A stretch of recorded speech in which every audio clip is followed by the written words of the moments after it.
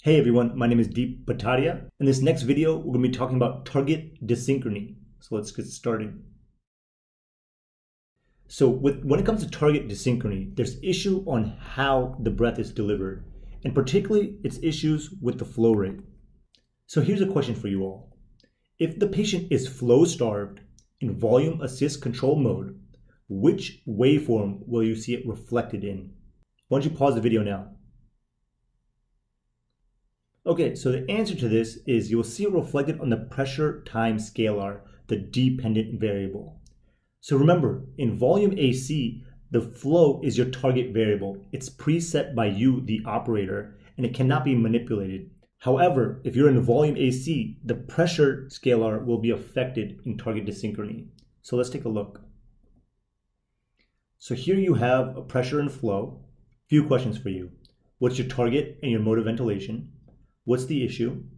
Which phase is the dyssynchrony? Is it a trigger dyssynchrony, target dyssynchrony, or cycle dyssynchrony?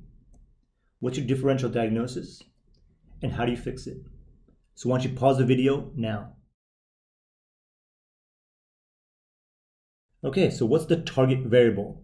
Taking a look at my flow scalar, I can see that it looks like a decelerating ramp. That's something the operator has set. So therefore, I can say that flow is my target variable. As a result, this mode of ventilation is volume controlled ventilation.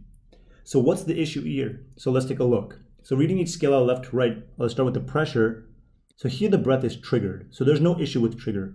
However, after the breath is triggered, you can see there's a negative deflection. Same is true with the second, third, and consecutive breaths. So the issue is not trigger, but it's target.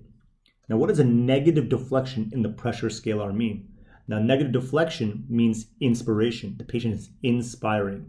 So as a result, this is a target dyssynchrony. There's only one type of target dyssynchrony, and that's flow starvation. So the issue is, how do we fix this? So a lot is said in name. The patient is flow starved. They're inspiring excessively during the breath because the flow that they are receiving is not enough. For example, this patient's flow is set to 40 it's not enough for the patient. So, how do we fix it? You have two options. The first option is what if we increase this flow to 80 liters per minute? You, the operator, have the ability to change the maximum flow rate. So, if you changed it and increased the flow to meet the demands of the patient, and the pressure scalar improved and the dyssynchrony went away, you've solved your issue. So, the first way is to increase your flow rate. And the second scenario is let's say you increase the flow rate to 80. However, this target dyssynchrony still persists. That means you've increased the flow rate, you've seen no response in your target dyssynchrony.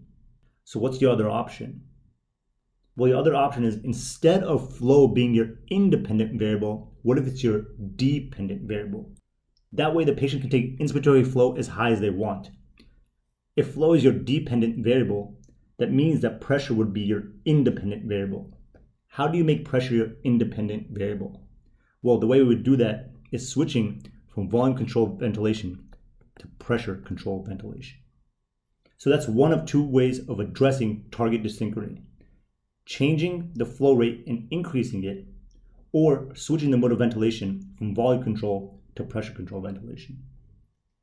So another question for you, can you have flow starvation in pressure control? And the answer is no, because flow will be your dependent variable. The flow can go as high as the patient demands. So that's it for target dyssynchrony. Join me in my next video where I address cycle dyssynchrony. Thanks a lot.